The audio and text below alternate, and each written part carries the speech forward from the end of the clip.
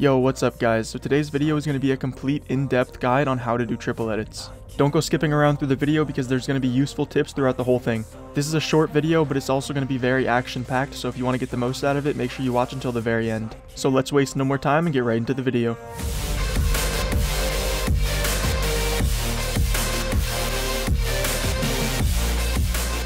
The very first thing you have to practice is single cone edits and single floor edits.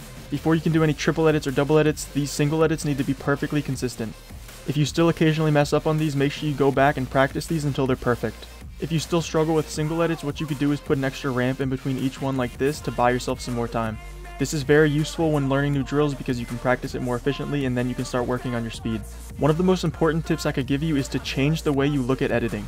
After you edit your floor, I want you to immediately place a ramp as fast as you can. So instead of looking at a single edit like placing a ramp, then a floor, and then editing, think of it like placing a floor, editing the floor, and then placing a ramp.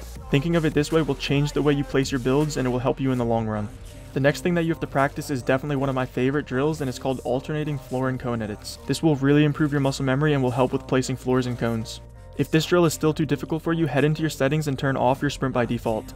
This is another really useful tip when trying to learn new drills because it will give you more time to make your edit since you're walking. So if you're ever struggling, turn off your sprint by default. Once you've mastered all the drills I just provided, it's time to start working on your double edits. Before you can start getting fast with them, you have to first learn the movement of a double edit. So to do a double edit, you're going to place a cone, floor, edit your floor both tiles, and then edit one tile of the cone, and then immediately place a ramp. For efficient double edits, your double edit should look exactly like mine. Just like with the single edits, make sure you really focus on placing that ramp immediately after you double edit so you don't mess up. Once you've mastered your double edits and you're starting to get a little quick with them, it's time to start working on your triple edits. To do a triple edit, you're going to start just how we started with the double edit. But instead of immediately placing a ramp after you edit the cone, you're going to immediately place a wall. Then after you edit that wall, you're going to immediately place a ramp just like we did with the double edit. Here it is again, so just really focus on the movement that I'm doing. Also notice how my crosshair doesn't move until I edit my wall. Once you master the movement of your triple edit, it's time to start working on the speed. Immediately after you edit your wall, place a ramp as quickly as you can, just like we did with the double edits and the single edits. And then once you guys master on quickly placing the ramp, I want you to focus on quickly placing the cone and then the floor in that order. With all this information, and if you practice it right, your triple edits will start to look like mine. That's all I have for this video guys, so if you made it all the way to the end, drop a yellow heart in the comments so I know who watched it all the way through.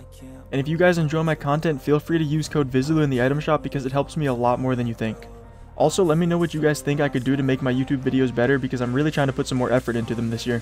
But with all that said, I will catch you guys in the next one. Take care and peace.